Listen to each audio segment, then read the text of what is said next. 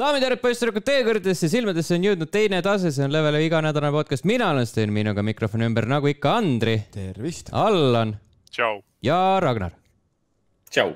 Te kuulate, vaatate saadet numbriga kolmsada seitsekümmend üheksa äh, saate salvestamise päeval ma kolin, siis kui saade välja tuleb, siis võite leppida või õigemini äh, rõõmustada teadmise üle, et see saade on monteeritud täiesti Uues uues kohas. ja äh, üles laetud uue internetiga. Sten saab omale lõpuks internetti, ma olen oodanud seda nii kaua, sa oled iga kord öelnud mulle, et tead, sa varsti kolid Jah. ja siis sellest on nagu mingi aasta-poolteist möödas, sa varsti kolid. jah, Ja no ei no eelmise päev. aasta alguses põhimõtteliselt. Andri, siis ei mina olnud mõtet mäletan, enam. Andri, mina mäletan, et peaaegu mingi jah, vist poolteist või kaks aastat tagasi oli see jutt, et ma Mhm. varsti kolin. ei no selles mõttes, et iga inimese aja arvamine on niikuinii suhteline, aga selles me oleme kindlad, et äh, lõpuks Sten saab omale internetti ka ju. jaa, kui oleks- kuigi tal, tal oli kogu aeg see olemas. ma oleks juba saanud interneti koju, kui, kui tehnik ei oleks mind üle lasknud. ei no no, no, ka internetil, internetil on vahe, sest et mingi üks mega üles ei ole internet, see on, Mhm. ma ei tea, kui su 3G annab ka paremaid kiiruseid, siis nagu millest me räägime. jah, jah, jah, ja, ja, ja, ja äh,. igatahes ärme raiska aega sel juhul, liigume kommentaaride juurde. Youtube'is Spawn kirjutas neile, kes siia selle clickbait'i peale sattusid. tühistatud on Red Dead ja GTA nelja remake'id, mitte mängud ise. las ma pakun, see jäi kogemata pealkirjast puudu, eks? jäi siis või? ei jäänud, see oli meelega pandud. Äh, siin ei olnud midagi kogemata. kõik oli äh, vägagi äh, välja, välja mõõdetud äh,. liigume Discordi äh,. Tomil oli ka sama, samalaadne kommentaar. kõige hullem clickbait pealkiri, mis seni olnud kõigi episoodide juures. Need pornoteemad ei olnud isegi nii hullud. minu meelest kõige hullem äh, clickbait oli see, et Kaja Kallas astus äh, tagasi. see oli see, kus nagu ma võtan Discordi lahti ja mul on nagu mida. ma mõtlesin, et me räägime et- meie saatest, et Ei, mis nagu oli kõige hullem clickbait. ma räägin sellest, et see jah, see oli clickbait, aga saab palju hullemaid clickbait'e olla, et selles mõttes, et äh, fine noh. jah. aga mitte keegi ei ole valetanud. Kaja Kallas astus tagasi. jah GTA ja Red Deadi mängud tühistati ära.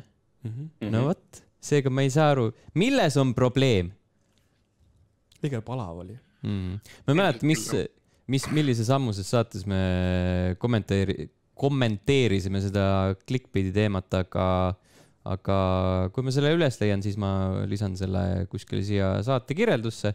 saate teada, miks, miks ma niimoodi siukseid pealkirju panen. väike kokkuvõte, need on, see on lõbus, Mhm. It's fun. pluss, pluss inimesed on kergeusklikud ja lähevad kaasa clickbait'iga. Jah. sellepärast clickbait sündiski. jah, no Nii et- kuida- ku,, ku, kuidas see on, et äh, rumal ei ole see, kes paneb pealkirja, vaid see, kes klikib sellele või? ja, klient on süüdi. see, see, kes õnge läheb, ütleme mm Mhm. -hmm. siis niimoodi. jah, Mhm. vot siis me oleme kõik ohvrid. Jaa. ajakirjanduse ohvrid. Äh, rääkides ohvritest, siis Donissium kirjutas, Weekend'i omad vist toimetasid just Soomes midagi ja oli teema, et esinejad loobusid ürituse ajal. Mm. päris rets.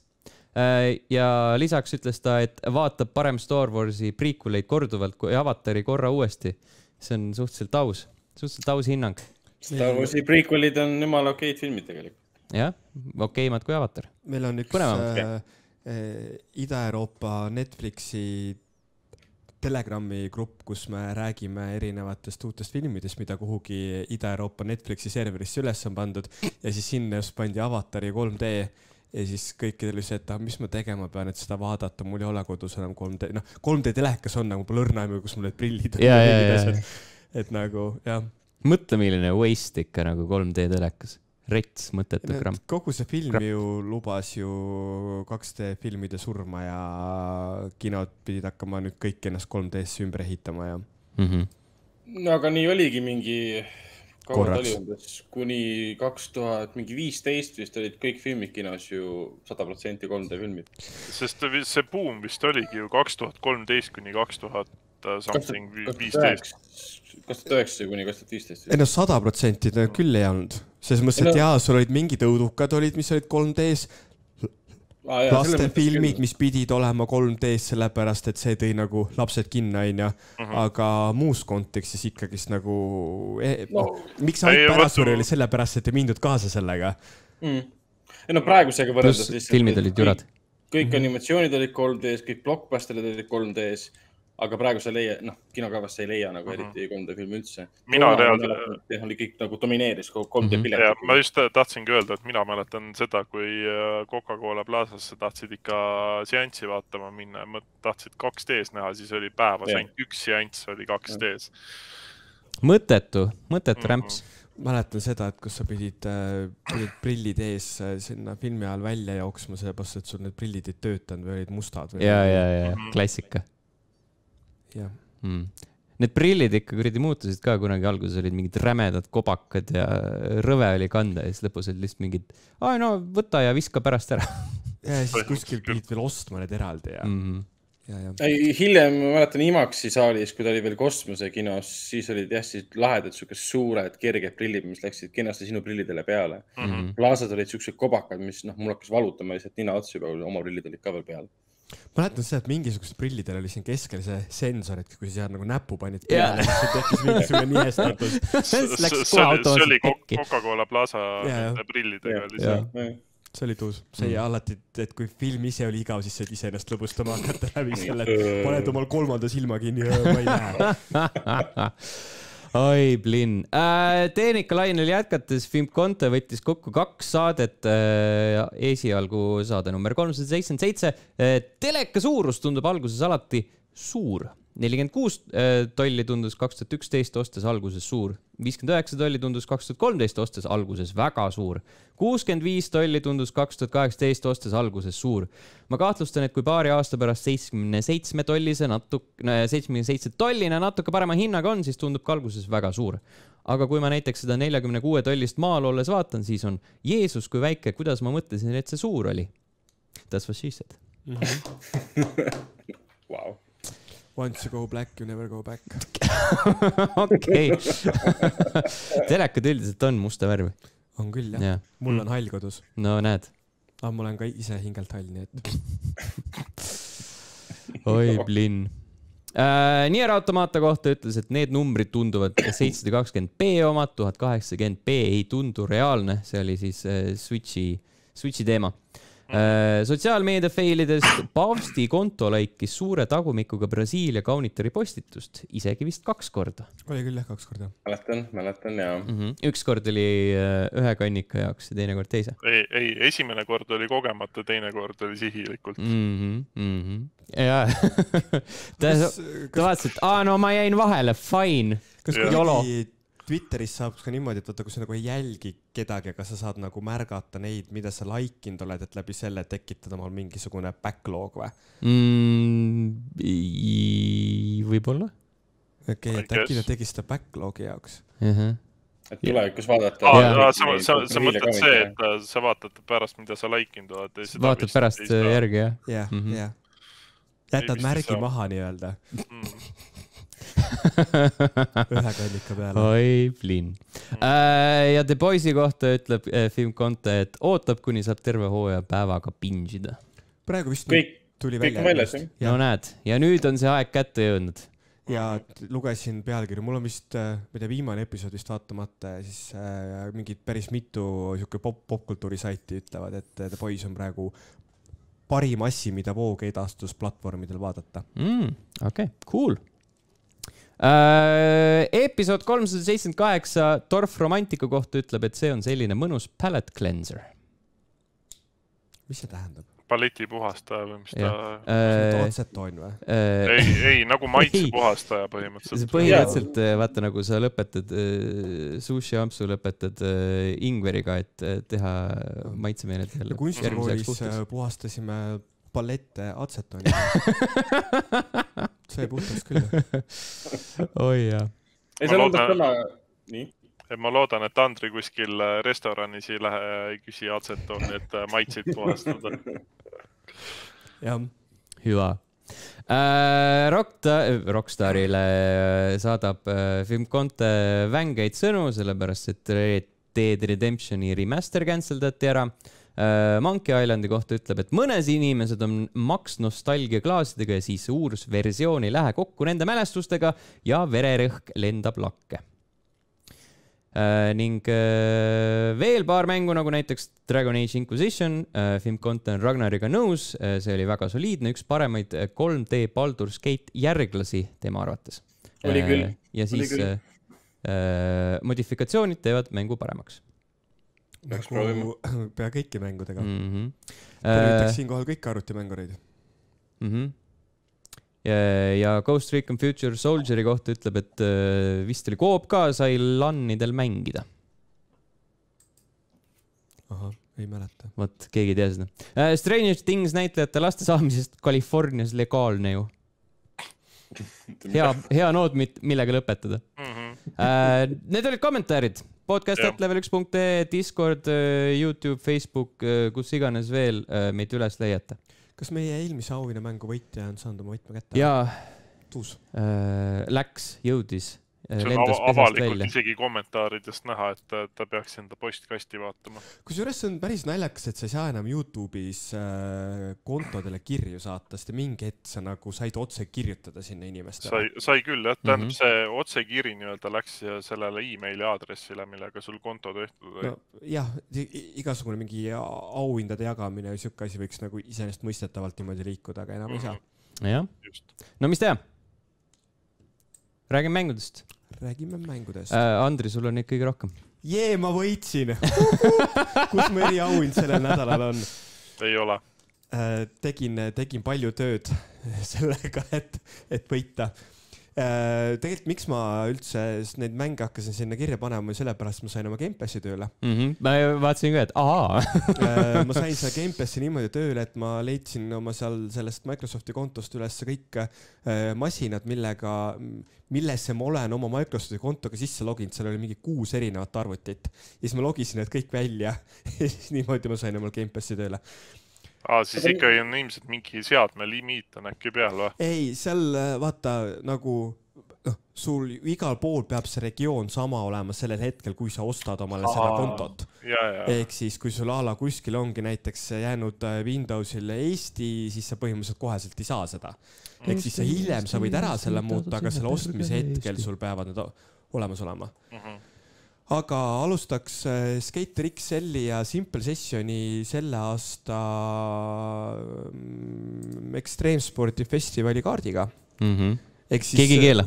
jah äh,, Simple Session on teada-tuntud nagu pigem BMX-ile orienteeritud äh, võistlus. et sihuke rula on seal pigem nagu teisejärguline, et kui sa võtad kasvõi ajajärgu järgi, et millal sul millegi finaalid on, siis BMX-i finaal on alati viimane, sellepärast see on kõige nagu popim asi. Mm -hmm. igal juhul äh, Simple Session jagas oma Instagrami kontol ühte motifikatsioonilinki, kus siis sa said äh, äkki mingi Pipe BMX või mingisuguses sellises mängus said seda mäppi alla laadida. ja ma hakkasin seda guugeldama, mõtlesin, ma pean nüüd selle mängu omale ostma, aga tuli välja, et Skater XL-i on ka seesama mäpp tehtud. ja tegelikult oli täiega tuus äh,.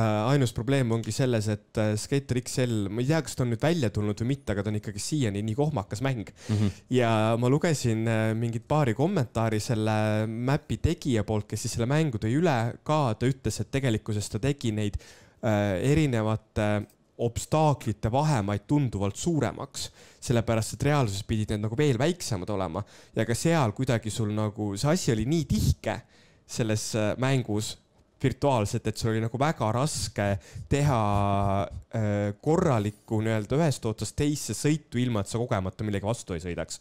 sest et lihtsalt see liikumismehaanika asjad on nagu niivõrd, niivõrd kohmakad, pluss äh, rulatades sa ei hüppa nii kõrgele kui BMX-iga sõites, tänu millele teatud railsid, asjad äh, on natuke lihtsamini siis oma mune sinna vastu ära löödavad, kui, kui sa nagu tegelikkuses tahaksid aga kellel on äh, Skater XL ja kes äh, on äh, Simple Sessioni fänn, ma soovitan see motifikatsioon netist üles leida, see mäpp alla laadida ja kasvõi, kasvõi korraks, korraks seda proovida.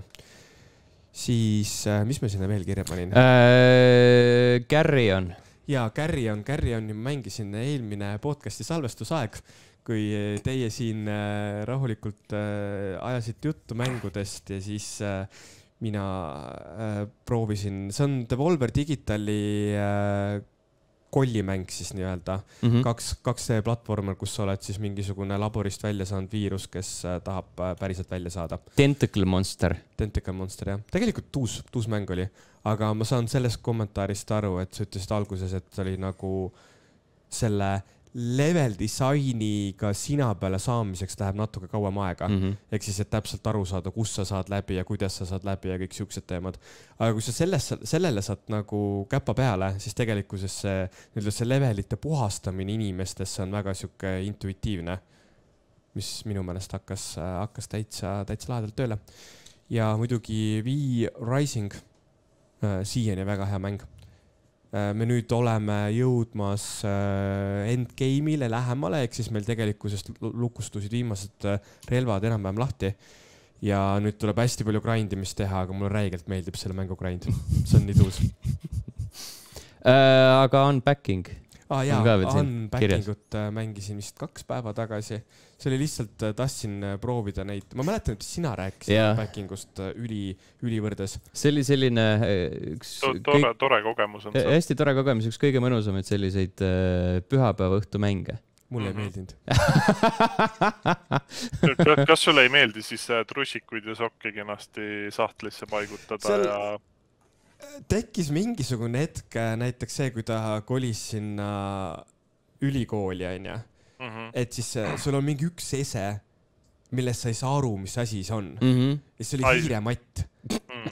Ja siis nagu, et kuhu ma seda panema pean, sa käid nagu erinevatest kohtadest läbi, paned kraanikaussi, paned panni, paned vetsupotti, mitte midagi ei tööta ja sa ei saa aru, mis asi see seda on. sul ei ole mitte mingit vihjet selle kohta ja siis noh, et sa oled juba hiire nagu laua peal ära pannud, onju, aga sa ei Mhm. saa seda nagu, sa pead hiire ära sealt tõstma, siis sa paned selle sinna, siis saad hiire sinna peale panna. et nagu mingit noh, ma saan nagu sellest ja et see on nagu näitab seda, et videomängud on väga lahe viis äh, loo jutustamiseks ja sa saad nagu erinevaid nagu mängitavuse elemente tuua sisse selle jaoks, et nagu noh, rääkida seda lugu, onju.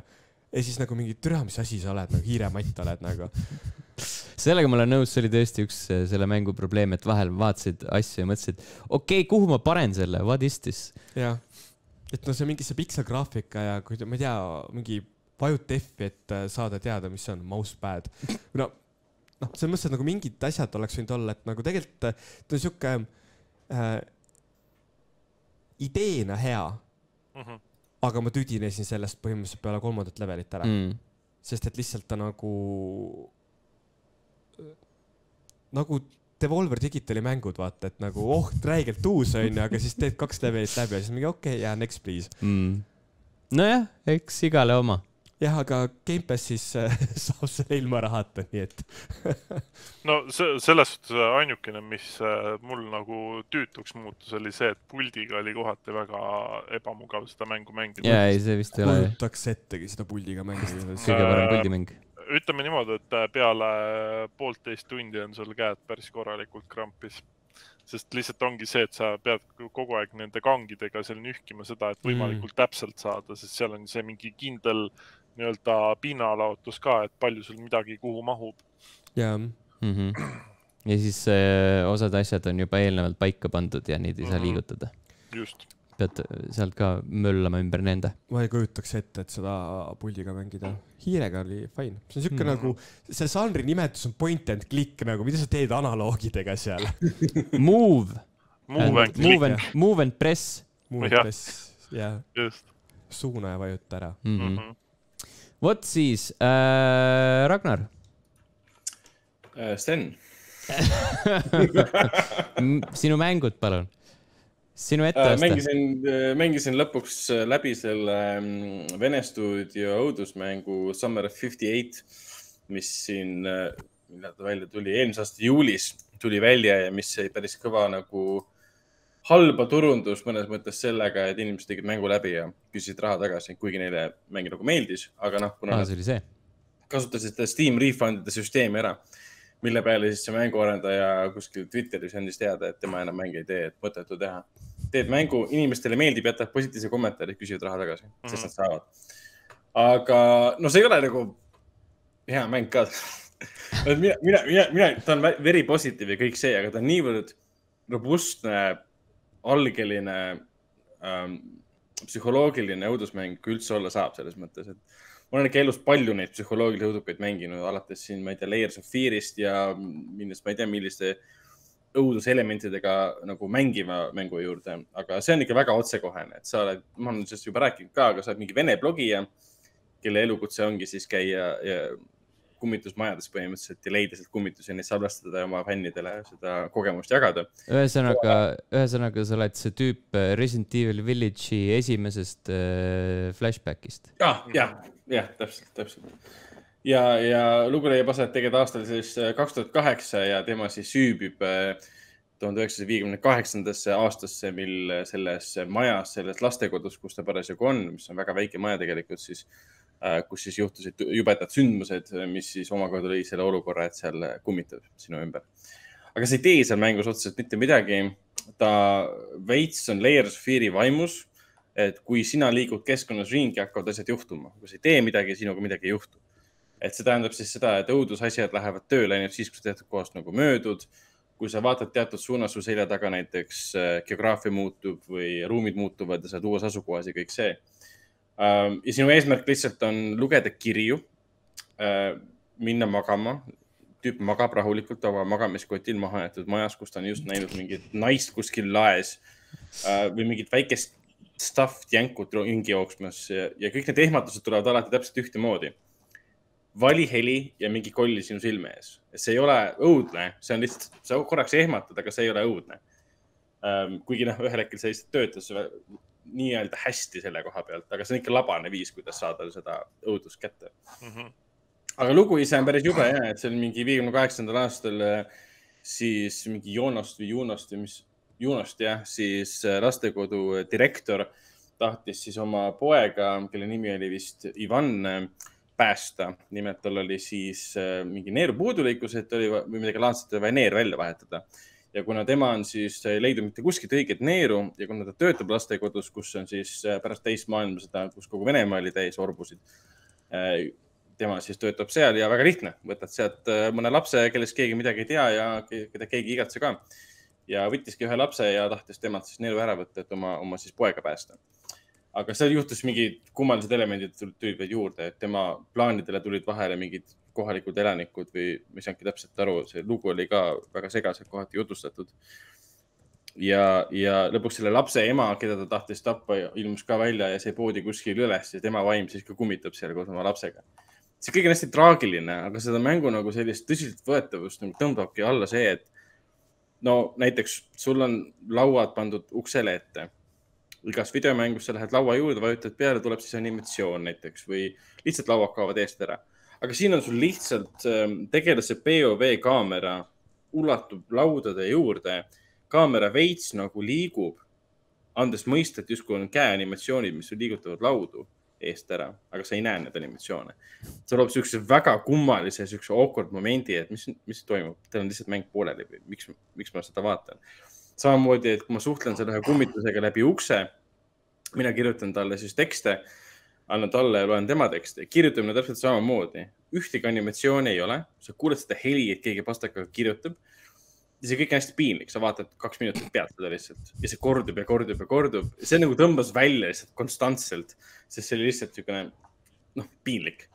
aga hiljem sa pääsed sinna ühte, ühte haiglasektsiooni, kus sa hakkad siis nägema, kuidas seal töötajaid või üks töötaja siis äh, lastekodu laste peal operatsioone on teinud ja verised jäljed ja kõik siuksed asjad, et noh see teema on nagu tõsine selle koha pealt, aga mäng ise natukene alandab selle tõsiseltvõetavuse nagu, nagu väärtust. kuigi pärastpoole see tulid päris head õudusmomendid, kus jah, kõndid mööda koridori ja siis mingi suur koll ehmatab sind ja, ja kummitused ajavad sind taga kohati, aga seal ei ole põgenemist, seal ei ole nagu Layers of Fear'i stiilis teise osa põgene, stiilis põgenemist või Outlast'i stiilis põgenemist, et sa pigem pead nagu ära kannatama. kaheksakümmend kaheksa minutit ma kokku mängisin. kas sa küsisid ka raha tagasi või? Ei küsinud, ei ole mõtet nagu, selles mõttes, see ei maksa mitte midagi, see maksab, praegu ta maksab neli eurot maksab. täpselt, nelikümmend kolm protsenti on alla tõmmatud ja no mm. mõtet nagu ma ostsin ka mingi jumala väikse summa eest, et milleks.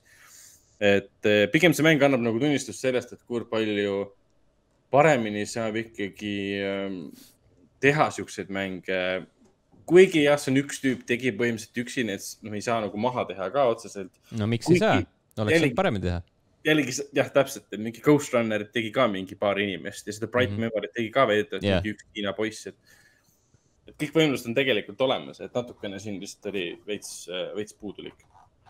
aga see on tore, tore elamus, kui tahad kiireid ehmatusi, siis see on ikka labasel, labasel viisil ehmatab sind korralikult. mingi meeldejäävat õudust ei ole, aga kui tahad nagu mängida rahulikult ja siis ehmatada niimoodi, siis selle jaoks on see nagu, nagu idekas. no siis sa võid ju seda sama hästi teha seda kunagist äh, äh, juhi, juhi äh, täpp äh, läbi, läbi aina kitsamaks äh, muutuva koridori. ja siis, kui jõuad, siis tuleb mingi ehmataja sulle ekraanile. mis asi okei, mingi Või-, mingi nägu ja valiheli tuleb ekraanile ühel hetkel. ma mäletan Aa, see, mingisuguseid, ja, ja, ja, ja. mäletan mingisuguseid linke, mis oli a la mingi hästi sarnane sellele, kus sa mingit polli saad teha ja sa klikid sinna peale, mingi tsikk lendab su poole. Mhm. klassikalise video, kus sa näed rahulikku muusikat taustal, kuidas Mhm. auto sõidab ja siis tuleb koll. täpselt nii. Ja teine oluline mäng, mida ma lõpuks mängisin, oli, mis ma kunagi siis saate ajal veel Steamist ostsin Jah., Garfield Kart.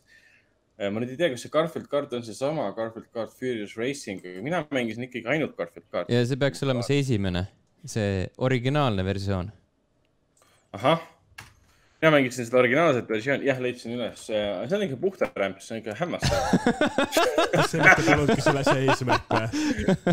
ma lihtsalt tahtsin lõpuks ära proovida, aga aastast kaks tuhat kolmteist on ta pärit. noh, suurel ekraanil teda mängida lihtsalt ei saa neljakümne kolme tollisel, sest see. Ragnar, ma võin sulle, ma võin sulle öelda, et isegi väiksel ekraanil ei kõlba seda mängu mängides. see on nii tühi ja emotsioonitu kaardimäng lihtsalt. on, kas mulle, kas sa, selles mõttes, et seal ei ole helisid ju.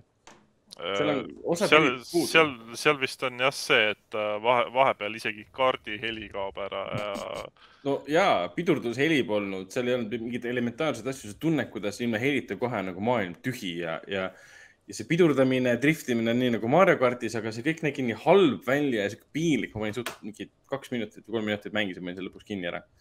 olgem ausad, mis sa viiekümne kaheksa sendi eest tahad või palju ta to toona maksis, et see oli täiesti mingi mõttetu summa, aga et äh, sa nagu ei saa, saa tahta selle eest midagi, aga noh, ma ei tea, mis see originaalhind on, ilmselt on mingi kümme eurot äkki või? neli üheksakümmend üheksa on praegu. Oi issand äh. jah, ütle, ütleme niimoodi, et äh, sa pead äh, väga tulihingeline Garfieldi fänn olema, et äh, võ- võib-olla siis sa nagu oled nõu- nõus äh, leppima nende äh, olematute helide ja selle tühja ja emotsioonitu kaardisõiduga. ja, et kui meil mõni kuulaja on tulihingeline Garfieldi fänn, ma tahaks kohata seda inimest, et mm. -hmm. mis see tähendab olla Garfieldi fänn, kas sa loed neid koomikseid, ma ei tea, paned Va- nukke kuskil või? vaata, vaatad see- multifilme ja sul on äh, seina peal see Garfieldi kell, vaata, kus silmad Aa. käivad ja saba käivad. mm. mul oli see kunagi kusjuures, su lemmiktoit on lasanja. jah, Mhm. seda ka. ja, ja sa saadad äh, hästi nunnud halli kassi kogu aeg äh, sinna Abu Dhabisse. Abu Dhabisse, jah. jah, täpselt nii. aga Garfield kaardiga seoses veel, et see, ma vaatasin, Artifact stuudio tehtud ja järg aastast kaks tuhat üheksateist on ka äh, Artifact stuudio, et siin võib-olla tasub seega osta, viisteist eurot. kindlasti tasub, jah mm. -hmm. Do it, do it right now. ta näeb palju efektsem välja muidugi. ja tõenäoliselt on seal isegi paar heliefekti. Aga ah, tegelikult üks asi jäi mainimata, et veits mängisin vahelduseks äh, Dying Light äh, kahte ka uuesti, sellepärast et sinna on tulnud mingid lisamissioonid ja lisaasjad ja nii edasi äh,. väga kaua ei viitsinud äh, mängida, aga kuradi, kuradi hea, mängige endiselt välja, mingid uued äh,, uued, uued, uute elementidega relvad olid mulle inventory'sse tulnud mingil põhjusel. ma ei tea, midagi, mingid uuendused, mis iganes. aga endiselt väga äge mäng, kui lihtsalt ringi karata ja hüpata ja killida ja tappa ja kõike, mis äh, su ette satub ja kas sa mängisid seda üksinda või kellegagi koos? üksinda, ma ei ole koos okay., koos isegi proovinud, tahaks küll tegelikult, et näha, kuidas see töötab, ega esimest ma ka ei mänginud koos kellegagi. ma sain omale selle mingi võtme ja siis mul on üks võti veel. et ma ise Ahah. ei ole seda proovinud veel. et kuidagi nagu ootan, et siin suvel niikuinii mingit seltskonda kokku ei saa, kellega koos seda mängima hakata, aga aga No võiks davai. võiks, võiks mõelda täitsa. jah, mõtleme, võiks proovida, kuidas see asi välja näeb, et, et seal vist ei tohiks vahet olla, mis level või asi keegi on, et kõik hakkavad samal tasemel vist peale või ma ei tea täpselt tegelikult. no samas, kui ta on ikkagist loopõhine, siis seal mingisugune see asi peab olema, et kas umbes, et mina kutsun sind oma mängu ja me mängime koos neid minu missioone või kuidas Aa. see seal hakkab olema. aga siis ta ilmselt nagu tasakaalustab seda levelit. et ta vist, noh, ta ei saa sind visata ju endgame'i, kui sul on üliread väga relvad ja kõik see. okei okay,, siis küll jah. aga ei, võtame, võtame plaani. aga see jäägi ma rohkem ei olegi midagi mänginud jah. mm.. jutu lõpetuseks, mis on teie lemmik Garfieldi koomiks? minule näiteks meenus esimesena asjana see, kus äh, John Arbuckle jõi jobi. miks ta seda tegi? Ütlen ausalt, et ei ole ühtegi Garfieldi koomiksit kunagi lugenud. sest ta tüdruksõber oli loomaarst ja siis tal oli, tass oli laua peal ja siis oo, värske kohvi. ja siis ta ütles, tüdruksõber ütles palju õnne, sa saad kutsikad. oota, aga kelle, kelle jobi see oli siis? koera. koera? mis see oli, Obi või mis see nimi on? ei, ei, lihtsalt suvalise koera. kas Aa., kas Garfieldi koomiksid kunagi mingi Eesti lehes ei olnud kogu aeg? jaa, jah iga, päev. siiamaani. Õhtulehes oli vist viimasena, aga sealt kadusid nad ka ära, ma arvan.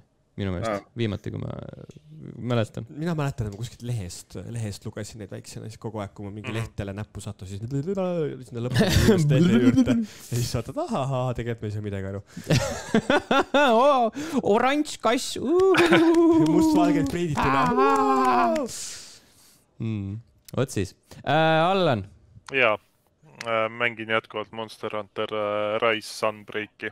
olen jõudnud äh, nii-öelda loo osa lõppu ja siis, siis hakkab äh, põhi, põhiline tuim, tuim grind imine siis pihta. alles hakkab mäng pihta. siis alles hakkab jah, juppide äh, kogumine. palju sa Aga- praegu, tundides praegu alla oled pannud? Äh, kokku koos äh, see baasmänguga on mul nüüd äh, sada neliteist tundi. Ja baasmängust oli, baasmängust oli kuskil kaheksakümmend neli äkki või? Jesus Christ, see on päris rets. Äh, no ütleme niimoodi, et äh, Tarmoga koos oleme siin äh, iga õhtu mänginud ja mängusessioon ikkagi vahepeal ikka kujuneb siukseks viietunniseks. ja, ja kusjuures ma pean ütlema, et see on äh, nii märkamatult läheb, et võtadki järgmise kolli ette, lähed rapid teda ja siis võtad, noh, teeme ühe mängu veel Mm -hmm. nii, nii ta läheb. vana hea, klassikaline. aga väga hea mäng on ja selle eest, selles suhtes, et äh, see Sunbreak äh, vist oli nelikümmend eurot, et äh, see on täiesti müstika, kui palju sisu on suudetud nagu sinna veel juurde toota, et ba-, noh, baasmäng ise on juba väga mahukas, pluss siis see nagu li- lisapakk on ka ikkagi, ma ütleks, et kohati isegi rohkem tegevust kui baasmängus. Et see saad, saad nii-öelda neljakümne euro eest saad väga pikaks ajaks omale mängurõõmu. Mm -hmm. Cool. Äh, ja siia lõppu mina mängisin ka Switchi peal, mängisin Portali läbi, see oli tõenäoliselt kõige siuksem ähm, viljakam mängusessioon äh, selle viimase nädala jooksul. aga, aga jätkuvalt tore mäng.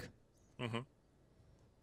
Ma olen jah kuulnud ka, et see Portali nii-öelda port äh, Switch'il on äh, vist üks parimaid. mm,. ma vaatasin ka selle Digital Foundry video läbi ja, ja tundus tõesti selline äh, väga hästi tehtud asi. ja ta ei ole ju üldse kallis ka vist, viisteist eurot. jah, ja saad mõlemad osad ja seal on Just. päris korralikud mängid, et äh, esimesel osal teed selle kampaania läbi, saad mingid äh, challenge room'id veel eraldi Mm -hmm. äh, ja siis äh, teisel osal on ju sul äh, korralik kampaania pluss siis veel see äh, co-op äh, mängulaad, kus on hoopiski Jah. teistsugused äh, ülesanded, teistsugused mõistatused Mm -hmm. ma just vaatasin, et ma olen V-Risingu alla pannud juba kuuskümmend tundi. mm.. see on ju tore on, see on, see on hea see on hea, kahekümne eurise mängu eest täitsa asjalik jah. jah mm.. vana, vana hea, kas üks eur võrdub üks tund? Sellised olid mängud sel nädalal, enne veel kui me uudiste juurde liigume, siis äh, Youtube'is on meil selline kena tore nupuke nagu join, sellele vajutades saate toetada meid, meie tegemisi, ligipääsu mustale saatele, mis ka kohe varsti jätkub, kui ma saan enda kolimised tehtud. Ja striimide ajal, mis kunagi naasevad, saate kasutada meie lõustadega emojisid. sellele võimalusele on juba, mm, sellest võimalust on haaranud Kadri, Mihkel, Heiki, jutlustaja X, Rasmus, Andres, Örü, Rein, Donissium ja Rallih null null seitse, aitäh teile. ja aitäh, Henri, kes meile Youtube'i sisukordi loob äh, Youtube.com kaldkriips level üks ee on see aadress, kus äh, leiate erinevaid asju. Äh, ma salvestasin selle Saints Row demo video, sain aru, et see seal ikka ei ole nii palju sisu, kui ma arvasin. tegin ühe musklise, musklist tädi ja siis mõtlesin, kurat, ma ei oska nagu mingeid siukseid veidrusi teha, nagu teised inimesed teevad mm. -hmm. musklist no, tädi. jah, noh, et ma ei oska teha mingit äh,, mingit äh, kuulsust a la järgi seal. Kui motiv-, nagu muudetav kogu see on seal minu arust, minu arust suhteliselt samasugused nagu need äh, Betesta mängud, et sa saad kõiki neid põsesarn-, jah, ja nagu From Software'i omad, et sa saad okay, kõiki okay. neid põsesarnasid liigutada ja, ja ma ei tea, nina ja kulmu ja silmade kaldeid ja nurki ja sügavust ja, ja kõike muu, kõike muud, aga nagu ei viitsi nii palju no seal on see, et see kuidagi nagu eeldab mingisugust ruumilist mõtlemist või nagu yeah., kui sa mängid kahemõõtmelist mängu, siis nagu tarbid seda läbi kahemõõtmelise pinna mm, -hmm. siis mul on ka hästi raske sellest nagu kolmemõõtmelisusest aru saada ja siis sa pead kogu aeg keerama seal, okei okay,, nüüd ma tahan äh, kõrvu mudida, keerad ennast nagu niipidi, siis vaatad, okei okay,, mis kujuga on, siis sa pead teda tagasi keerama, et saada teada, kas see on nagu eemale ulatuv või nagu vastu pead ulatuv. ja siis, siis sul on umbes selle jaoks siis nagu mingisugusest kuulsusest need äh, kolm pilti välja prinditud on, et yeah. külje pealt on ta mm -hmm. sihuke, ahah, okei okay. mm. -hmm ehk siis tea, eks neist mm. -hmm. Äh, level1.ee, sealt äh, võite äh, praeguseks tõenäoliselt juba leida äh, väikese artikli Bugsnaxist äh, ning mängud, mis kahe podcast'i vahel ilmuvad äh,. viieteistkümnendal juulil Nintendo Switchi peal Loud üheksateistkümnendal juulil Stray PC Playstationit. vot seda on äh, oodatud, saad mängida kassina. Äh, üheksateist juuli veel ka As Dusk Falls PC, Xbox One, Xbox Series XS. Endling Extinction is Forever PC, Playstation neli, Switch ja Xbox One kahekümnendal juulil Doomstar PC peal, Baldur's Gate Dark Alliance kaks PC, Playstationid, Xboxid, Switch Äh, ja kahekümne esimesel juulil Post Void Playstationid Switch ning Bright Memory Infinite PS5 Xbox Series XS Switch -hmm kusjuures ma praegult vaatasin äh, Stray äh, arvutinõudeid ja ei, ei taha väga võimekat arvutit saada mm. -hmm. no aga sa oled ju kõigest kass, mitte mingisugune lihasmägi. pisike, et sul ei lähe nii palju ressurssi no ma ei tea va, va, vaadates screenshot'e, siis see ümbritsev maailm on ikkagi üsna, üsna hea graafik. no kas sa ise oled kass, sa vaatad kõik altpoolt, siis ongi see nurk on teine natuke. Mm. see on siis öö, meie jaoks täpselt nädala pärast. see on tuus on, mida oodata. Äh, vaatasin, et Steamis on ta hetkel miinus kümme, kümme protsenti ka, nii et. just mm, -hmm. ma täitsa, täitsa mõtlen, et kuna Playstationit ei ole ja see on üks, üks nendest mängudest, miks ma Playstationit algul mõtlesin, et tahaks, siis saab, saab läpaka peal ka hakkama mm. -hmm. ma juba vaatan et mul on kolm sõpra seda märkinud, et ta tahab seda ja ma panin mm. ka, ma ka tahan seda ja ta on, kusjuures ta on isegi kirjas, et Steam Deck uh, verified Steam Deck Verified. mis meil sellest? okei okay.. no mina ei tea, mina ootan enda järge. no äkki aasta lõpus saad? ei tea, lubati varem ikka. mina mängin seda Playstation pluss ekstra vahendusel. palju see ekstra maksis nüüd? mina ei mäleta, mul oli juba olemas. Sten ei maksnud midagi. ma ei maksnud midagi ma lihtsalt vaatasin, et mul on, aa okei okay. Mm. sobib. ära esita küsimusi. jah, see on õige ja kui, kui, kui on olemas, siis ei, ei tasu minna torkima, pärast võetakse ära veel. Aga liigume uudiste juurde. Äh,. vaatame, mina praegu veel ei tea, tõenäoliselt vaatajad juba teavad, kas äh, täna on ka clickbait pealkiri või mitte, igatahes GTA kuus on uudistes taas kord äh, eelmisel nädalal rääkisime sellest, kuidas äh, Rockstar Games pani, äh, pani pausile äh, pani tagasi riiulisse GTA nelja ja esimese Red Dead Redemptioni äh, remake'id, remaster'id, kuidas iganes ja toona me salvestamise hetkel seda konkreetset põhjust ei teadnud. üheks selleks ähm, potentsiaalseks põhjuseks oli mullu ilmunud Trilogy, mis iganes Definitive Editioni kvaliteet ja vastuvõtt aga, aga tuleb välja, et GTA kuus on see mäng, äh, mis äh, Rockstari kõiki teisi projekte ära tapab. Äh, lisaks siis eelmainitud kahele remaster'ile läks riiulile ka Red Dead Redemption kahe Playstation viie ja Xbox Series konsoolide versioon ehk siis, mis oleks olnud sarnane tänavu kevadel ilmunud GTA viiele mm -hmm. ehk siis natukene, natukene üles vuntsitud, mis oleks väga tuus olnud. Aga nüüd, nüüd pandi see pausile, lisaks sellele siis ka teatati, et Red Dead Online'i rohkem mingeid uuendusi ei tehta. See on mingi suhteliselt pikalt olnud äh, murekohaks äh, fännide jaoks, sellepärast et äh, pidevalt kurdeta, kurdeti, et mitte midagi nagu sihukest sisulist sinna ei saabu, et äh, paluti Rockstaril ennast kokku siis Rockstar võttis ennast, ma ei tea, teisele poole kokku mm.. minu meelest Red Deadi online'iga on kogu aeg see teema olnud, et ega seal väga midagi teha ei ole olnud. jah, selle. Nagu... ei no kui sa sinna lähed, et ma mäletan, et kui ma esimest korda GTA viie multiplayer'isse läksin, nagu vau, et see on nii lahe, siin on nii palju teha ja siis, kui ma Red Deadi läksin, nagu mingi. see vastab tõele jah, seal, seal, seal on nagu palju teha, aga see kõik on siukse grind'i taga kinni mm,. jah, jah, täpselt. sa ei viitsi lihtsalt seda teha, et kui ma vennaga seda mängisin, et aa, meil on vaja viisteist kulda et mingi asja osta, et ma saaksin mingi missioone teha ja siis sa näed, kui kaua aega see kõik võtab mm, -hmm. sa lihtsalt ei viitsi seda teha mm. -hmm. samal ajal Arthur Morgan käis kuradi mingi kakskümmend minutit kuskil kõmutamas, et tal olid yeah. püksid maani kullakange täis põhimõtteliselt yeah.. ehk siis seal kuidagi jah, nad nagu suutsid nagu mingisuguste nagu äh, asjade taha ära peita kogu selle sisu, mis minu jaoks ka, et ma vist mingi a la kolm õhtut mängisin seda ja siis nagu noh lihtsalt, et kui sulle ei anta kohe seda järgmist asja ette, mida sa teha saaksid, siis sa tegelikkuses sa lööd käega noh, tegelikult seal on see, see racing olemas hobustega ja siis ähm, deathmatch, mis sa saad nagu vastaste vastu teha. aga see on ka, see on ka kuidagi ära peidetud, sa pead nagu kaardi peal leidma ikooni, mille peale sa kogemata satud ja siis avastad, aa, see on nüüd see. aga ta ei viska sulle asju nagu ette või see kõik kuidagi nii laialivalguv kuidagi hmm., ma ei oskagi kirjeldada seda. no ilmselgelt neil ikkagi põhirõhk läks GTA viie peale, sest see on ju rahalehm mm. -hmm. Ja selles samas postitus oli ka, et oo jaa, jaa, me siin GTA Online'i ikka, ikka toetame ja mm,, ja, ja, ja, ja, ja.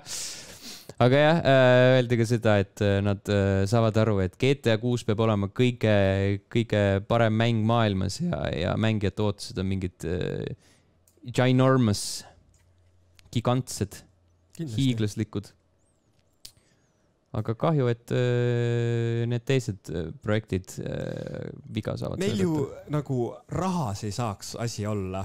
jah.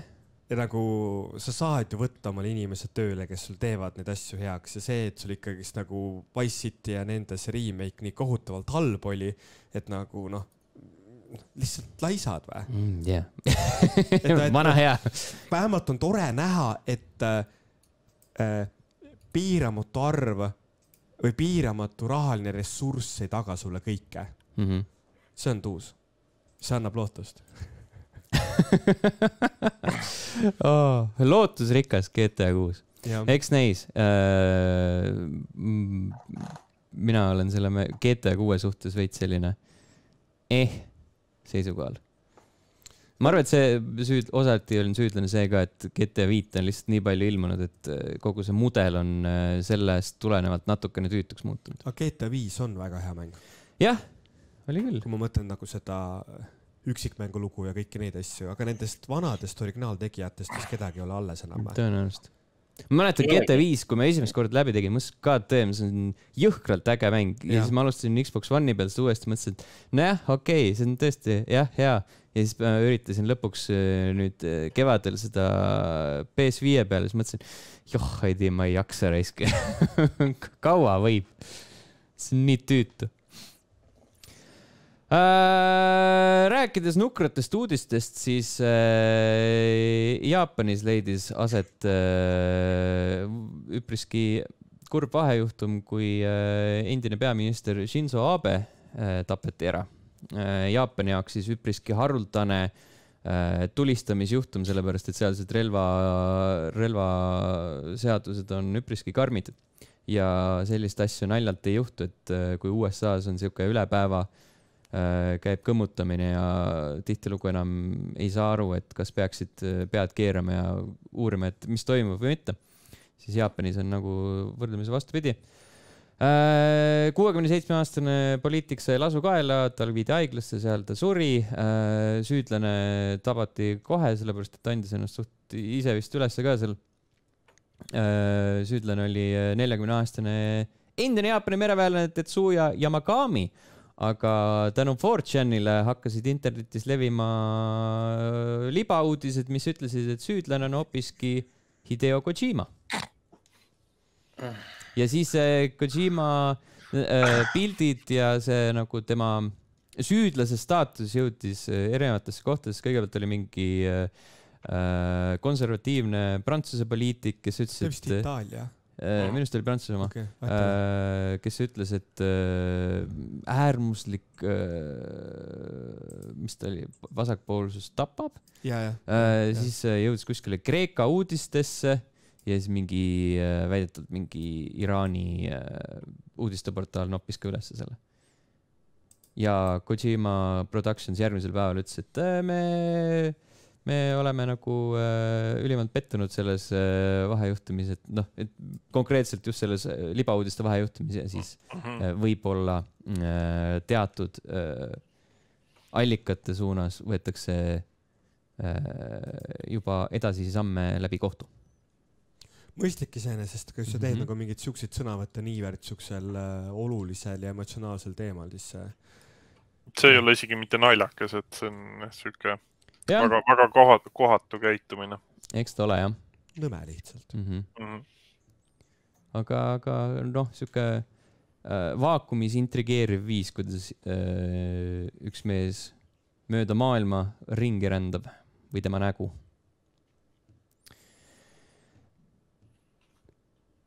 Veel kurbi uudiseid või äh, noh, äh, hästi pisike päikesekiir seal lõpuks oli, aga eelmisel aastal, eelmisel aastal Jeesus Kristus, eelmises saates äh, rääkisime tervest portsust Ubisofti mängudest, mis äh,, mille võrgutugi pannakse kinni, mille DLC-d enam ei saa mängida äh,. Uh -huh. üks neist oli muidugi VR mitmikmäng, mida ei saa üldse mängida äh, Äh, aga see ei äh, tekitanud nii palju furoori kui see äh, vahepealne uudis, et Assassin's Creed Liberation on, kaob Steamist ja, ja esialgu väideti, et peale esimest septembrit ei saa seda mitte keegi mängida, ka need inimesed, kes selle mängu endale varem ostnud on.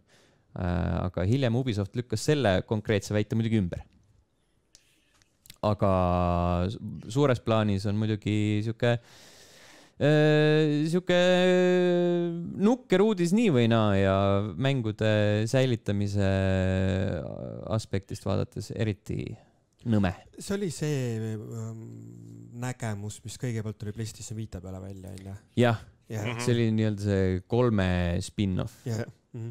ma saaks sellest aru, kui see oleks nagu mingi täiesti lambimäng aga ikkagist nagu Assassin's Creed, sa kas sa vihkad või armastad seda, vahet ei ole, aga ta on ikkagist nagu mänguajaloo mõttes väga oluline seeria. ja sealt sa hakkad juba mingisuguseid nagu episoode välja noppima ja tekib arusaam, et võib-olla seda ei saagi enam kunagi mängida, et see on ikka karm mm. -hmm. nii on. kahjuks jah äh.... noh, ma oleksin, oleksin nüüd mäng, millest, mida noh nüüd väga nagu taga igatseks, aga. see ei oma tähtsust antud aga olukorras. üld, üldises mõttes on see lihtsalt nagu pretsedent selles mõttes jah. jah, täpselt. hakkame lihtsalt eemaldama sellepärast, et me otsustame nii. sest et nagu neid mänge, mida sa taga igatsema ilmselt hakkad, on nagu väga vähe sest et mm. ma arvan, et ka näiteks, et kui sinu Steam'i mängude nimekirjast a la, oletame, et sul on mingisugune kolmsada kaheksakümmend mängu, onju, kui sul sealt võetakse kaheksakümmend mängu ära kas sa üldse saad aru sellest, et sul nad ära on võetud? no oleneb, millised mängud. nojah, aga selles mõttes, et millistes mängudes sa saaksid aru, okei okay,, kui mul GTA võetakse ära, jah, siis ma saaks aru, onju. oleks mingi, mis need on, mingid honeypopid ja, ja Mhm., ja siuksed asjad mingid indie-mängud ja mm. -hmm. noh, asi on lihtsalt põhimõttes, et Jah. yeah. mina olen nende eest maksnud, et eh, kes sa oled eh, sina, et võtad ära mul kaheksakümmend mängu. isegi kui ma neid ei mängi, siis ma olen selle valiku ju teinud, ma tahaks kunagi omada õigust. Äh, Ragnar, jätkuvalt sa ei saa aru, et sa ei oma tänapäeval digitaalseid mänge. ma tean, ma tean, Steamis on see, Steam'i kohta on see ammu teada, ma ei oma ühtegi neist põhimõtteliselt. sa, vahet ei ole, millist digitaalset asja, sa ei Jah. oma seda, sa oled selle Mhm. kasutaja. Mm -hmm. sellepärast tulebki osta lihtsalt Playstationile füüsilisi mänge. noh, jah, eks arvutile äh, pole vahet, kas ostad või mitte. tänapäeval äh, enam ei ole vahet, kas see on füüsiline või mitte, sellepärast et äh, aktiveerid ikka läbi interneti ja, just ja, kui, kui nad ikka ei taha, et sa seda aktiveeriksid, siis, siis sa seda ei aktiveeri kui, kui, kusjuures, oota, ma kiirelt küsin küsimuse ära, kas mm -hmm. PS5-ga saab offline'is plaadi pealt mängida mm.? mm,. mingeid mänge saab minu meelest. jään vastuse võlgu. mängust, Mm, PS5 offline sest a la mingi Grand Turismot ja siukest asja sa ei saa mängida. mm. -hmm. Mhm. no ja osad on ju vägagi seotud internetiga tõesti. aga eks, eks ta tõenäoliselt oleneb mängust. vaatame seda järgmises saates või siis keegi saadab kommentaari. just, ma ei viitsi praegu guugeldada. mul tuleb ikka see meelde, kuidas ma, kui Pro Games pandi kinni, siis ma ostsin sealt Hitmani ja siis äh, Hitmanis sul oli äh, sa ostsid füüsiliselt selle, sul on seal see võti ja siis su Mhm. plaadi peal on mingisugune keygen, mis sa siis pead sa plaadi sisse panema, sinna selle võtme panna, siis läbi interneti sul genereeritakse Steam'i võti. Mhm. päris huvitav süsteem. okay,, ja, ja mul ei sest, olnud seda plaati mitte kuhugi panna. sest äh, vi, viimane mingi äh, mäng, mis ma arvutile füüsiliselt Euronixist ostsin so soodukaga, oli niimoodi, et seal oli vist äh, neli DVD-d Mhm. ja selle nelja DVD all oli Steam'i võti. see on see, kuidas klassikaliselt nagu noh, ma ei tea, mingi viimased viis-kuus aastat neid arvutimänge on müüdud, aga just see, et sul oligi nagu mingisugune suva enda mingi IO Interactive'i mingi ki- kiken, kus sa siis pidid selle võtme sisse panema ja siis ta genereeris sulle selle Steam'i võtme. Et Mhm. nagu, aga sa pidid selle plaadi sisse panema, sest et mujalt sa kuskilt seda nagu genereerida ei saanud Mhm. omale. ja nagu noh, mul on, ma ei tea, vii-, viimased viis lauaarvutit, mis mul olnud on, mitte ühelgi pole plaadilugejat olnud, nii et see on jah, sihuke surev nähtus, plaadilugeja. rääkides veel korra siia vahele asjadest, mis äh, kaovad ja mida võib-olla ei pea otseselt taga igatsema, aga samas on nagu kahju, et nad kaovad, siis äh, kahe saate vahel kadus äh, võimalus alla laadida The Matrix Awakensi demo, mis oli siis äh, see oli see Unreal Unreal viie, Engine viie tech demo ja Mhm. mis on tõenäoliselt on äh, seotud äh, Matrixi litsentsiga äh, ja see on põhjus, miks see ära kadus, aga ikkagi äh, mina laadisin selle PS5 peale alla äh, for fun, aga tõenäoliselt ma pean selle kunagi ära kustutama, kui ruum otsa saab ja PlayStation viie peal on see oht väga suur. Mhm. Aga kas oli ka mingi põhjendus, mingi seos? ei, otseselt vist ei antud midagi. eks ta oli ju tech demo mõnes Jah. mõttes, et äh, arusaadav ka, et see ühel hetkel ära võetakse ja tuleb mingi päris mäng varsti ka. Mhm. Matrixi päris mäng või? Matrixi päris mäng, võiks, võiks näiteks oli korraks viivuks uuesti teemast tänu sellele viimasele filmile. mm.. oota, millal, oota, viimane vist oligi see mingi Path of Neo või mis see Äh, kas Matrix Online peale seda ei tulnud või? on? Online, online tuli hiljem jah. okei enne, seda oli Path of Neo, siis oli Enter the Matrix Mhm. ja midagi võib-olla mingi väikest asja kuskil mobiilis oli veel. Enter the Mm. Matrix, või, mis või mäleta. võimalik jah. Mm, ei tea. aga online'i ma ei mänginud, Path of Neo'd ma mängisin, see oli ikka absurdne jura. mina mängisin oli- Enter the Matrixit, see oli uus, see oli See oli halb mäng aga see oli väga tuus seda ma nautisin, see oli ikka kõik see bullet time ja kõik see mm. mm.. aga ma mäletan, et kui ma tahtsin Matrixi mängu mängida, siis üllatav, üllataval kombel ma läksin ja mängisin hoopis Max Payne kahte. sest see on lihtsalt bullet time, see täitis minu jaoks selle augu, et Path of Neo nagu ei olnud see mäng, mida ma tahtsin oma, millega oma aega raisata. kas sellele Stufule või sellele tuli mingi Matrixi mood peale? Sifu või? Sifu jah. Stufu. Sifu, oi, plinn. Ufo. tofu ja ei, ma lihtsalt ma nägin, nägin mingeid pilte sellest äh, sealsest Matrixi, Matrixi modifikatsioonist mm., et äh, ta oli, tundus täitsa sümpaatne. tundus nagu täpselt see mängumehaanika, mis nagu sellesse, sellesse maailma sobiks. Mm -hmm. Matrix Online ja Path of Neo mõlemad ilmusid aastal kaks tuhat viis, tuleb välja. kaks tuhat viis. ja, ja Matrix Online pani aastal kaks tuhat üheksa kinni. kas see oli ju see, see äh, mäng, kus äh, Morpheus surma sai või? jaa, In, in canon. in, in canon ja, ja see kaudselt oli põhjendus, miks ta filmis ei olnud, tegelikult oli lihtsalt mingi scheduling conflicts ja nad ei saanud seda nõusse või midagi Mm. mm.. Mhm. solvukas. vot äh,, aga jätkates Ubisofti lainel, siis äh, taaskord eelmise saate lõpus saime teada, et Ubisoft kavatseb välja kuulutada, millal Skull and Bones lõpuks tuleb äh,. seda ta ka tegi äh,, näitas äh, videot Skull and Bones ilmub selle aasta kaheksandal novembril uue generatsiooni konsoolidel, PC-l ja siis Stadia ja Luna peal. Need on siis Google'i ja Amazoni striimimisplatvormid Mhm. mm,. ja, ja that's about it. see nägi välja eh, not for me. seal oli tseen, kus laev seisis ja siis äh, taustal keegi lõhkus puu maha, aga sa ei teadnud, kes. ehk siis laev lõhkus puu maha. see, ma klikkasin selle gameplay video läbi ja see nagu, kogu see mängitavus tundus väga mobiilile omane, kus sa umbes nagu oledki pigem siuke kõrvalvaataja seisukorras, et umbes nagu vajuta nüüd seda ja siis mm. -hmm. nüüd tee seda ja siis nagu. Ma vaatasin ka ja vaatasin, jep, that's not for me. see näeb nii fucking igav välja.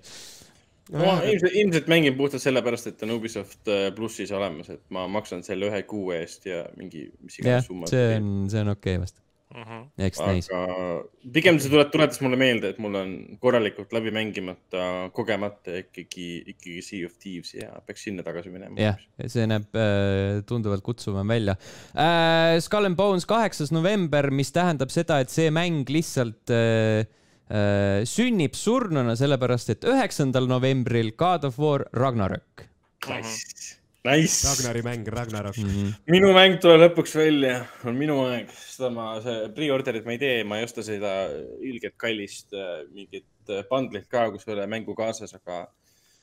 aga on Steelbook ja, ja, ja mingi suur kirves või mis iganes asi no, haamer või? haamer vist oli see võib-olla peaks ostma, et saab hiljem e-base mingi absurdse summa eest maha müüa ja raha teenida veits. Mm -hmm. ei, sa pead tõeline fänn olema, sa pead selle enda riiulile ostma ja siis selle haamriga koos iga õhtu magama minema. jaa. Paned padja alla. Just. okei. see on see põhjus, miks baaris nagu tüdrukud kaasa tulevad. Sa ütled, et sul on haamer kodus, kas te tahate näha kas või? tahad näha mu suurt ma haamrit? tahtsin just küsida, et kas, kas see on see äh, pick-up lause, et äh,, et ma tulen, ma haamerdan sind. isa soovitusel. isa soovitusel. tule ole minu nael. ma löön sind enda suure ha haamriga. oi, plinn äh,. aga seniks, kuni me ootame kõik seda suurt haamrit, siis äh, tunduvalt varem jõuab meieni Hitman kolme uus kaart äh, tasuta DLC-na Ambrose Island ja kahekümne kuues juuli. See on hea uudis. nüüd kohe põhimõtteliselt. see on põhimõtteliselt kohe jah, üheksateist tuleb Stray, mängid selle läbi ja siis äh, Hitman kolm lihtsalt kohe Mhm. ennast minna välja elama mehena, mm. -hmm. kui sul viskab kassis kopa ette. jep, kas see kass oli kollast värvi või? Oranž vist oli- kollakas oranž või mingi segu. Garfield, ei no selles mõttes, et nagu kollased kassid ongi oranžid, selles mõttes, et nagu noh, no ja, ja, okei okay., Garfield. see tähendab, et äh, ootan modifikatsiooni, kus saab mängida Garfieldina. ma ootan. siis ta räägib, oh I want some lasagna ja fuck Mondays. Mhm. ma ootan motivatsioon, modifikatsiooni, kus ma saaks mängida enda kassina ja sa saaksid mängida enda kassina.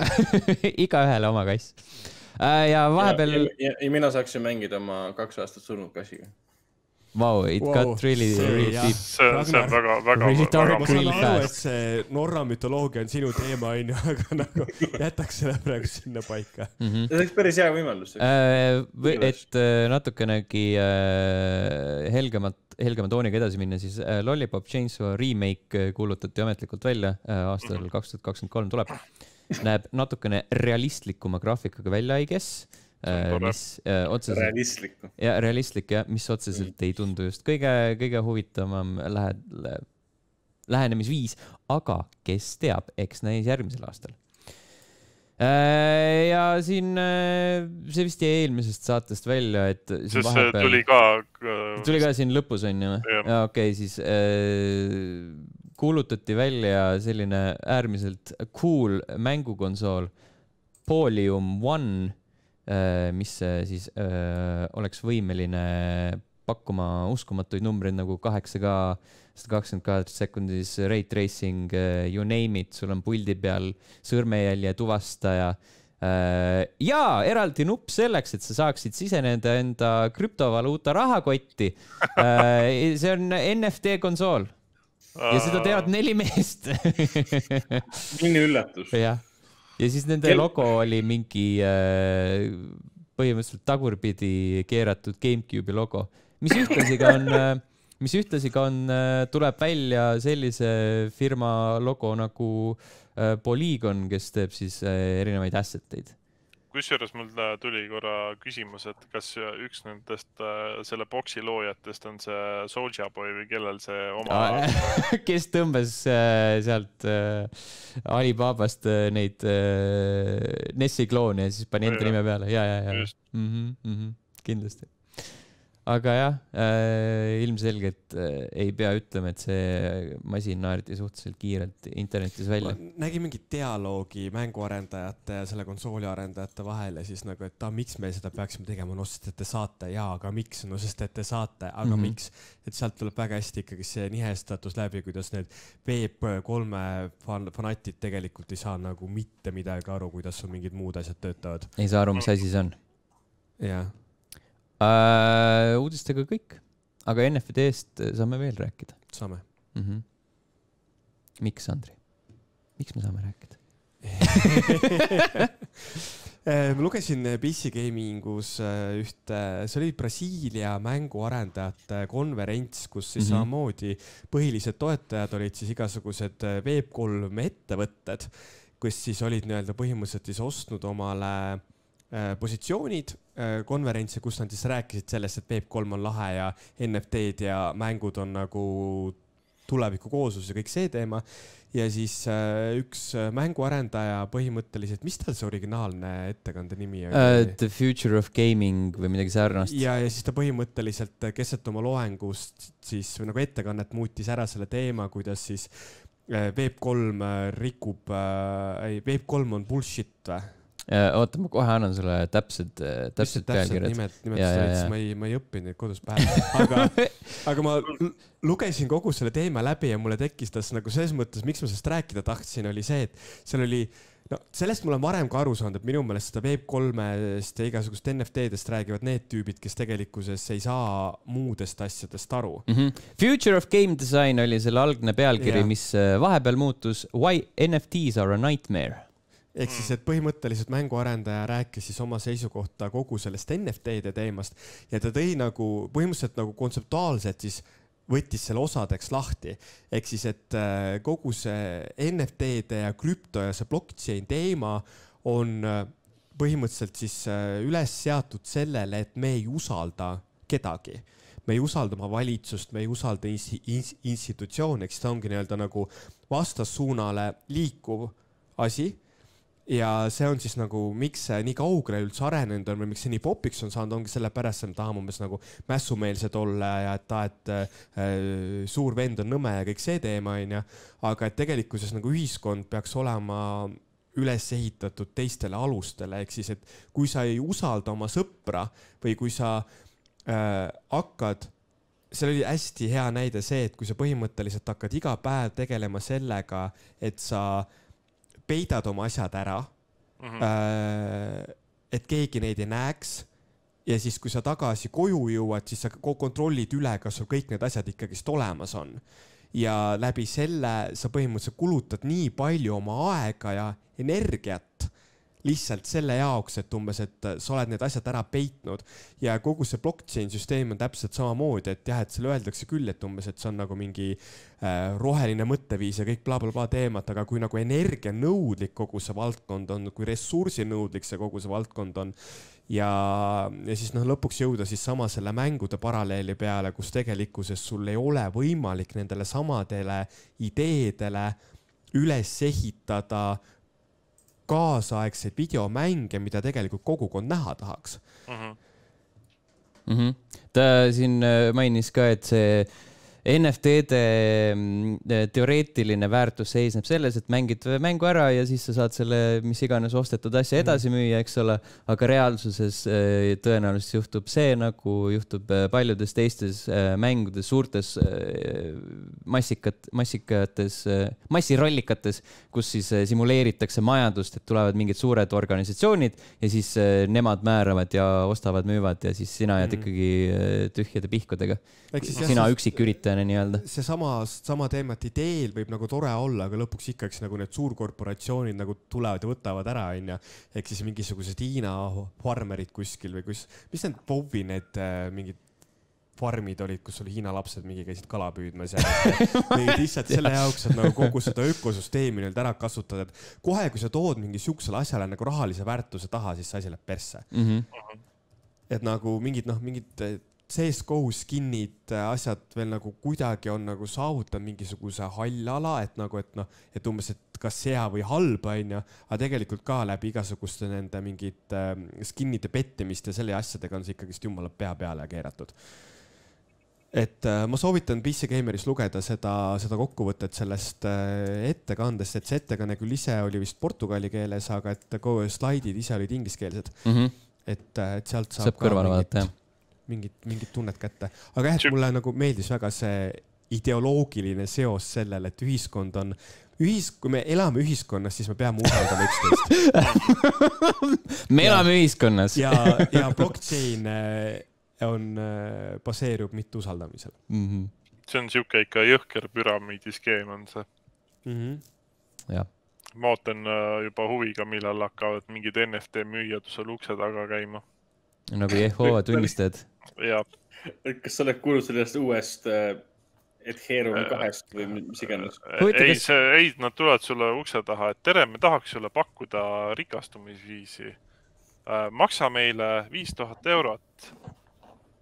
osta, osta meilt NFT ja võib-olla saad kunagi selle eest rohkem raha. paljud teist seda Ready Player One raamatut lugenud on? No, on olemas, ei ole lugenud. ei okay. ole lugenud. siis ma äh, laenutasin selle, ma olen nüüd e-raamatute fänn ja e-raamatukogude fänn siis ma laenutasin selle, siis ma hakkasin seda lugema eesti keeles küll, sest mulle meeldib eesti keeles lugeda.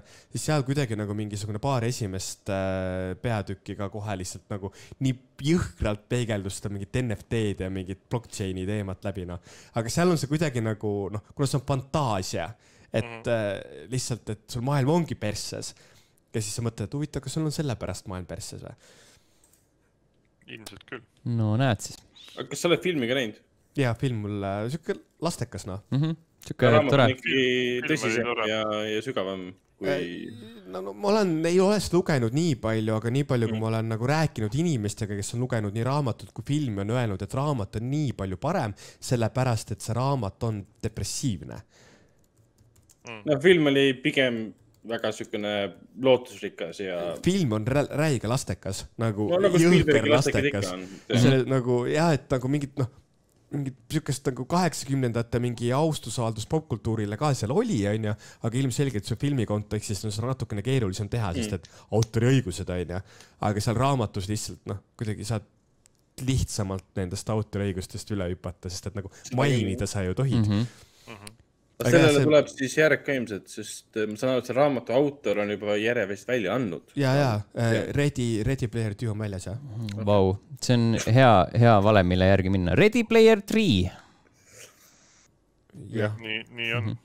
Äh, rääkides vaatamisest, siis äh, jätkasin äh, lõpuks ometi Disney pluss lainel äh,, võtsin ette kronoloogiliselt järgmise sarja ehk Hawkeye, vaatasin selle kahe õhtuga läbi ja senistest sarjadest ehk siis, mis need on, mis mul nähtud on, WandaVision, Falcon ja Winter Soldier, Loki ja Hawkeye, ma arvan, et see on selline äh, esikoha, esikoha jagaja WandaVisioniga äkki või? päriselt, esikoha. jah, sest ta oli No. nagu hästi siukse mõnusa vibe'iga. ta oli No, loll, kohati oli nagu okay. väga veidrad äh, äh, siuksed äh, kronoloogilised terrorid äh,. aga, aga ma ei tea, kuidagi see vibe oli lihtsalt nii mõnus. nagu See- WandaVision on väga hea. Mulle selle, selle sarja lõpp läks äh, päris heaks, aga see algus oli küll siuke, et mõtlesin, mis sitta ma vaatan.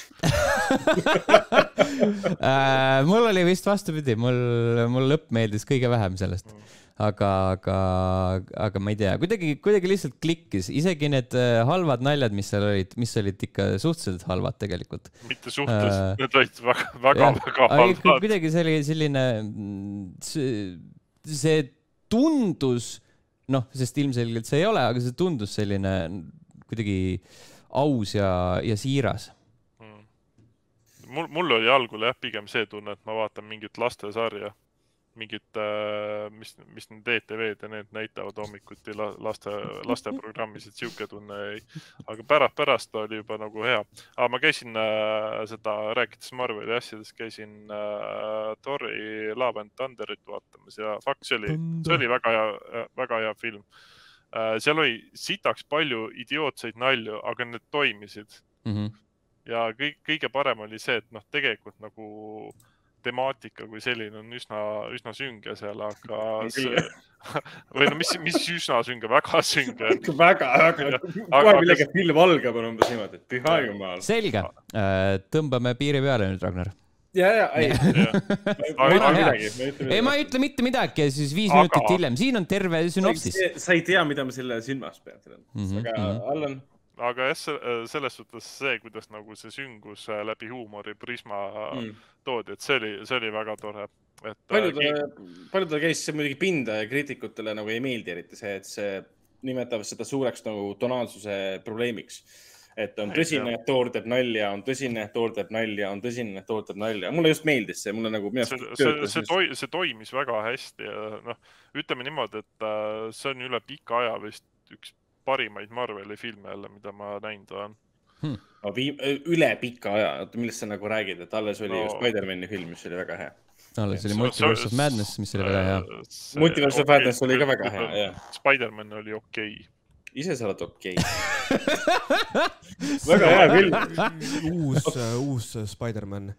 jah, ah,. see oli see kõige parem äh, teist korda koroonat äh, põdedes paned filmi käima, jääd diivani peal magama, ärkad selle peale üles, kus nad seal kuskil selle mingi, mingi see, see New Yorgi see Vabadussammas mingi Jah. seal ja siis film on läbi, mingi lõputiitrid, aga okei okay,, davai, mis ma järgmiseks vaatan.